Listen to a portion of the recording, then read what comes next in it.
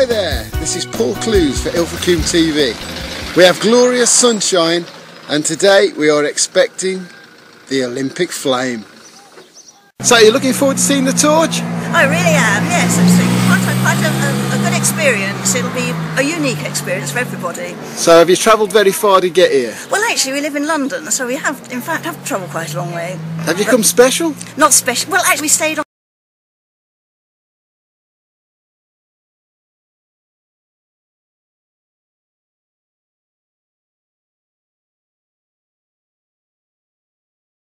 There, what's your name? Bob, Bob Corwin. Yeah, and you're from the uh, gig uh, boat by the look. Pilot Gig Club, absolutely. Great, tell us a little bit about the uh, gig club. Oh, goodness me, we've been around for nearly four years now. And we are now, from having started from scratch, we are now recognised as the club to beat in Devon. And in the World Championships, our ladies vets achieved fourth place out of well over 60 clubs. That's very we're good. going some. That's really good. Are you looking forward to the torch coming by? Absolutely. You're going to be giving a big cheer. Oh, I think so.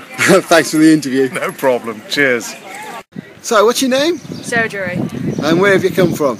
Uh, come from Timcombe. Timcombe Not Road. too far then. Not too far, Just no. walk down the road. Yes, Are you looking forward to seeing it? Yes, definitely. Are you going to be going to see the games themselves? Uh, probably watch it on the telly, to be honest, your- yeah. What are you looking forward to most?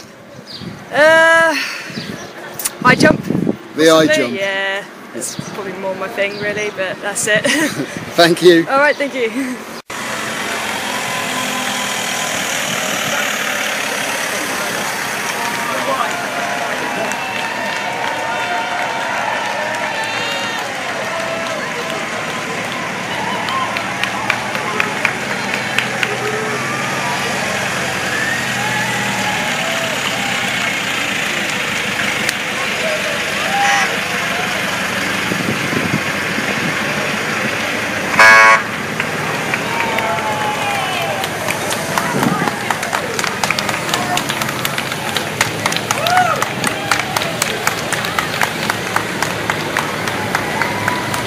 So then, Jonathan, how did it feel to come home with the torch? I mean, it's just lovely to come home. To come home with the torch was almost too much. Very, very emotional, very proud.